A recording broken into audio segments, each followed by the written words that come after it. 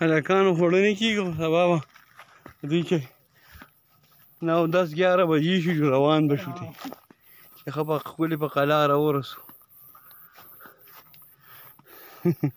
درې درې نیمې ګنټې لار ده